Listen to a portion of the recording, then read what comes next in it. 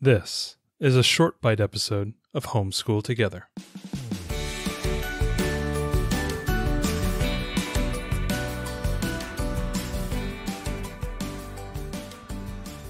Hello and welcome to Homeschool Together Short Bite Edition. Thanks so much for joining us today. We're going to be talking about the Build Your Library Harry Potter unit study. Woohoo. I have nothing to do with this. Ariel, go. All right. Well, we have Jessica Weeks with us, uh, coming back from her interview because we found out she's going to be doing the Harry Potter unit study, and I am very excited to learn all about that. So, welcome, Jessica. Hi.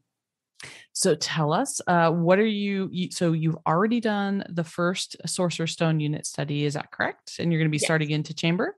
So, can you tell us a bit about what is contained in the unit study and and your thoughts on on the first level that you did? Um, yeah. Um, I I really liked it. It was a nice little break from our regular curriculum, but it wasn't too light. I think it was just a nice, perfect, like a little bit lighter, but I still felt like we were getting a lot done. So that was always nice. So you um, basically you go through and you read the book, and then you have the you know the vocabulary that you learn about and all the different magical creatures and the magical instruments that they use and you put it we put them in a notebook you can do however you want of course because build your library is so flexible and then there's the herbology study that was added on to the first one that you did and we and you also do you know you learn all the vocabulary there and you learn about different plants so it's just kind of a fun little combination of harry potter how fun is that plus a little you get the science to go with it So it the was just- herbology, you're learning about real plants, not the magical plants and fungi of the Harry Potter world. yes, and I actually the herbology book. I think it's called the what's it called? The kids herb book, something like that. I'm gonna I'm totally messed that up. I'm sure. We'll put it in the It show was a- notes. Yeah, um, it was an awesome book. I loved it because you learn about real plants. You learn about their medicinal uses.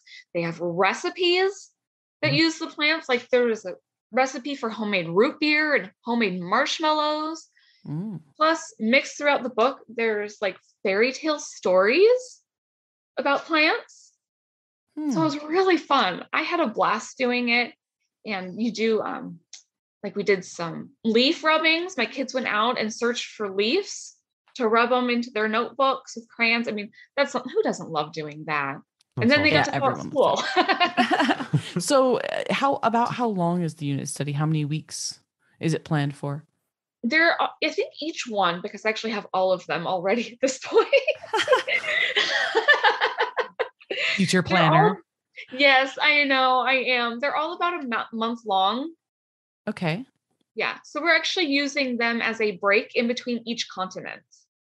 Oh, okay. So uh, now, so you're getting the you're getting a, a science aspect, and I'm guessing that each level probably leans into a different science um, than Yes. the next one.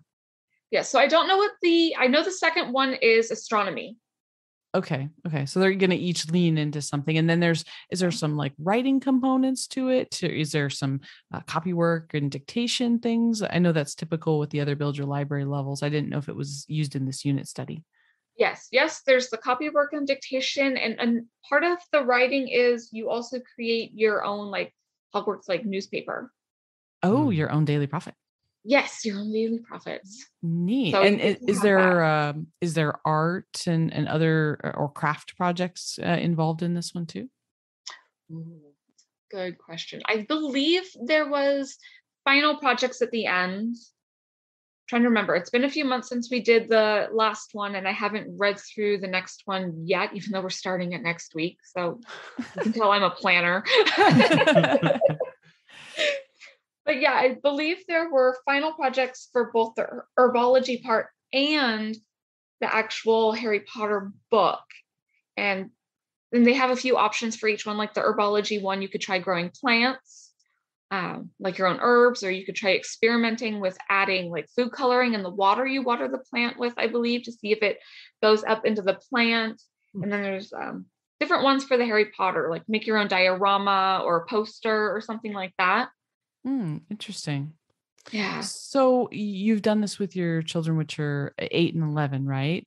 Correct. Um, how do you feel about age wise? Do you think like what's your assessment based on the first one and, and what kind of age range you think it would be appropriate for I think it's probably for most kids good for my age range. Um, my youngest doesn't do a lot of the stuff. I can go do some of the copy work and some of the fun little things, but she doesn't do any of the writing or anything like that. She's just not into it. But it all comes down to your own individual kids too. If they're, you know, are they going to want to do the vocabulary? Are they going to want to do the copy work? Are they going to want to do the Daily Prophet? It all comes down to that. My sister's actually trying it with her kids here and there too, who are younger. Her oldest is only eight.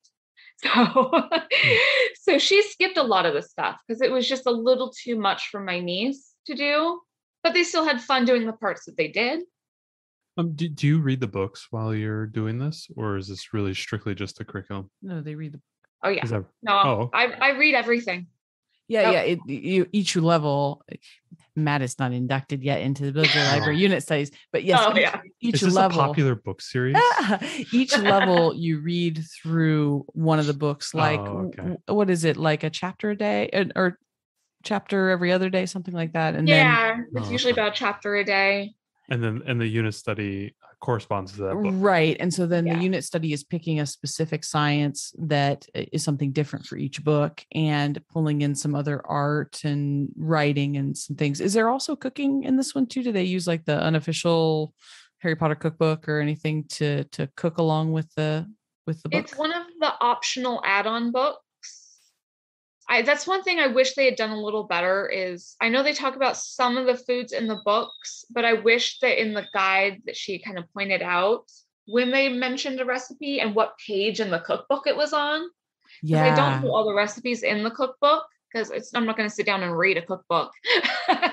Yeah, and the cookbook's not organized by we have the cookbook. The cookbook's not organized by um by book. a chapter. Yeah, it's well, organized by like all breakfast foods or something. And, and but it does tell you what part of the books they came from and what pages, but it is a little bit challenging, I agree.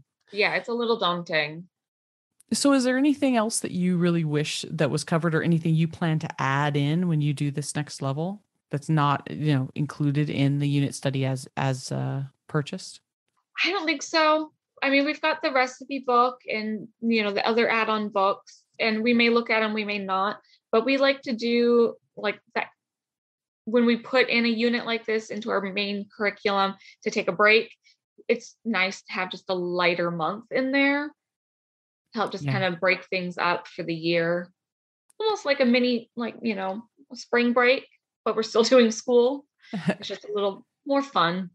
So do you have any kind of uh did you did you do any kind of big celebration at the end of the first one where you you know watch the movie, make a meal? Uh, Is there something like that that kind of wraps up the unit study? I, I tried to do the whole let's watch the movie after each unit. And we watched the movie. And then my husband's like, hey, let's keep watching the movies. I'm like, but But- we're trying to do this for school. But let's watch them. Okay. All right. I won't argue. so, Well, I think this is great. We're looking forward to doing this when our children are a little bit older. So we really appreciate hearing your experience with it. yeah i think they're they're fun it's just a great little fun way to do it we almost thought about doing the harry potter unit studies as a whole year but then i kind of worried that we might get burnt out Yes. And that would Harry- Harry be potter that would be tr- that, that would be a crime. I mean, to burn out on Harry Potter. but i feel like it would definitely be possible if that was your whole focus of school for a full year Yeah, And I didn't I, I could see that. that.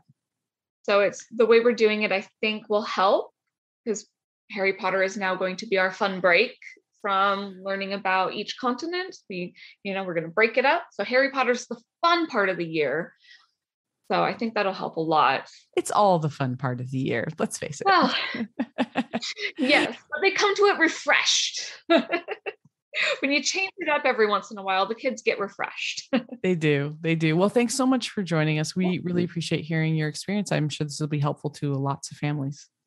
i hope so Thanks so much for joining us today and making us a part of your homeschool journey. Please engage with us on social media. Join our Homeschool Together podcast group on Facebook and find us at Homeschool Together Podcast on Instagram.